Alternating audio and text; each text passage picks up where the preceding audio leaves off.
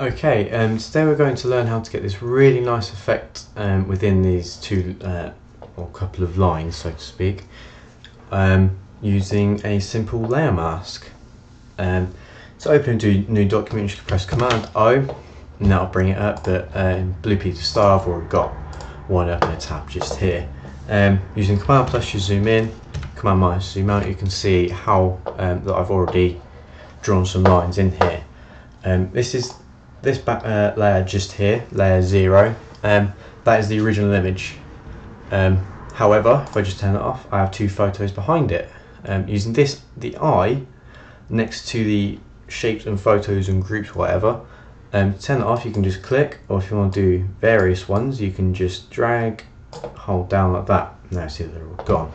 Uh, we want to join these two photos together because you can see that they overlap. So we're going to use this mask. Uh, this mask is stationed just at the bottom next to effects and this little sign here where you can change loads of stuff really. Um, okay, to the mask. Um, as you see here, your colours would have changed. They would have gone to black and white. X to change both of them. You can see it in this corner as well. Um, right, so we want quite a large brush for this. You can right click anywhere on the page as long as it is on the actual canvas. Um, you can see that I've got those weird, weird looking brushes here. So if you scroll up, um, that's a very, that's a that's a brush with a very hard edge. We want more of a soft edge like this one.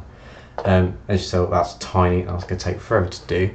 So we're going to change the size here. Still quite small, so we can just press the square brackets next to P. Um, the one, uh, the one furthest away from P, out the square brackets, that one goes up. The one closest on the left goes down. So we want it quite big.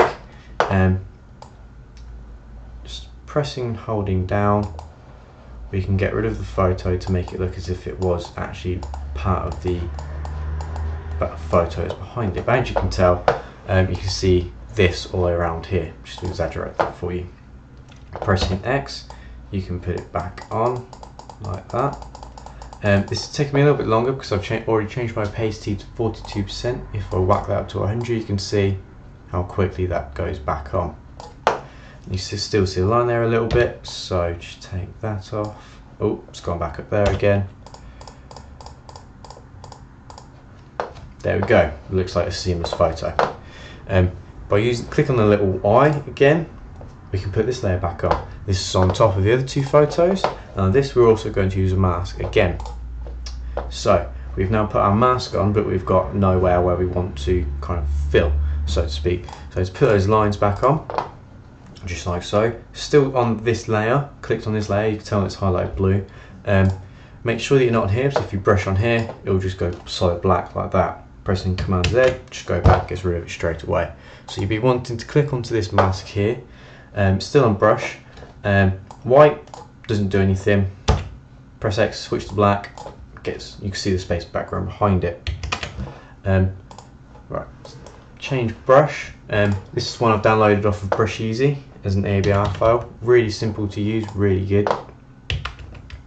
Um, so by making the brush smaller again, like so doing that I like to I like to mess around with my brushes I like to change direction and everything so by doing this see the brush changed again if I make it really slim like that brush is really slim like that uh, so just to keep it at this angle I think I'm just going to put that there like that.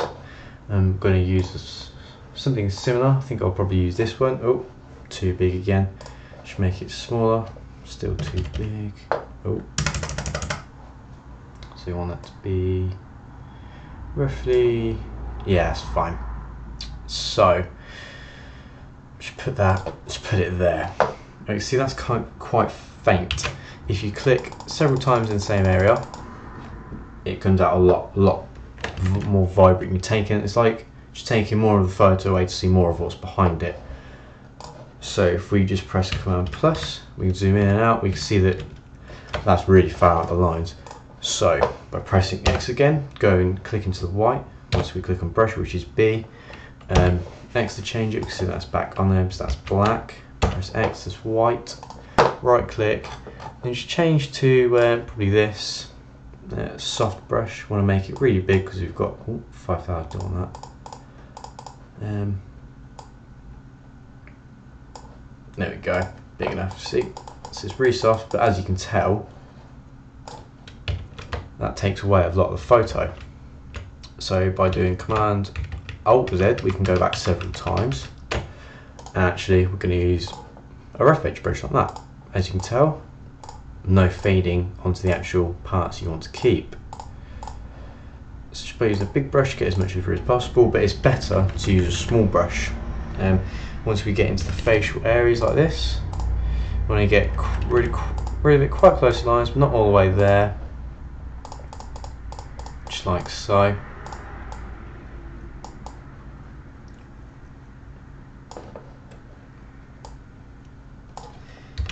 This can take a really long time and for a bit of a perfectionist it can take an extortionate amount of time. We're just going to do this really quickly.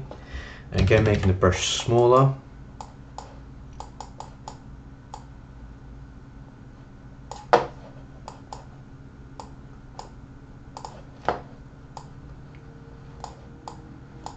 Also on this you can change the like I said before, you can change how thin the brush is. So just do that. Change angle of it. We've got a bit more of a bit more of a uh, side of a brush to use. Just do that.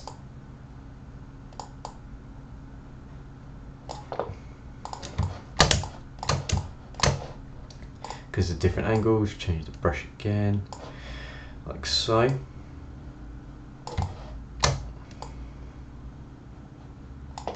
Oops, just gone up there.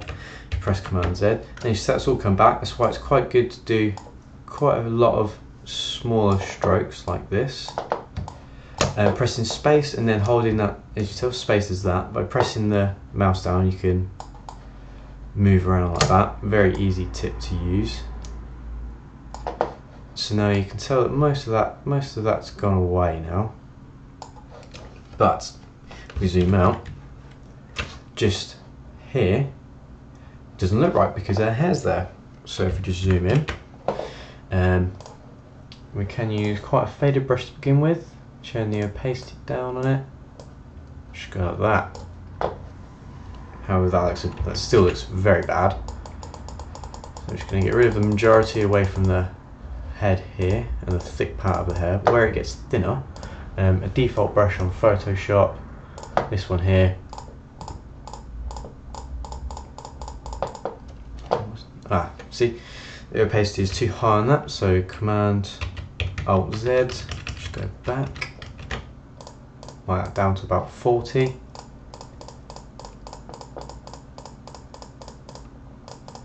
That looks a little bit better. Still not perfect because it's only a demonstration. Um, just go a bit around here a little bit more.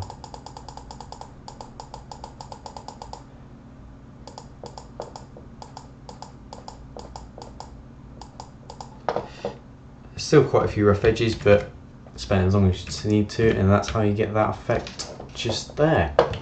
Uh, thanks.